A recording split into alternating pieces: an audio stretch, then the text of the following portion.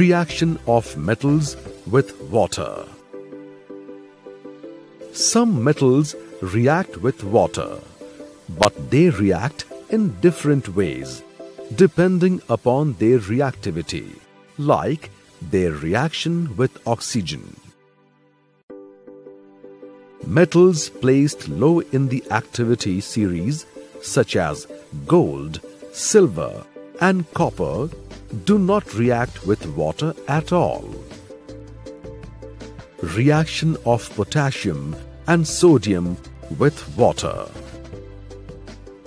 Potassium and sodium react vigorously with water to liberate hydrogen gas and alkaline potassium hydroxide and sodium hydroxide respectively. This is an exothermic reaction.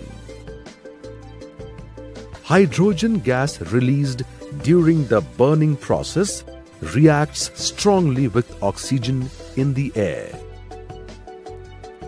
Reaction of calcium and magnesium with water.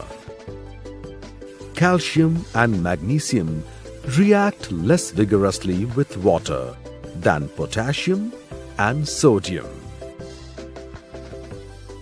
Calcium and magnesium both start floating when reacted with water as bubbles of hydrogen gas stick to the metal surface. Not enough heat is evolved to induce burning of the released hydrogen gas. Reaction of aluminium, iron and zinc with water.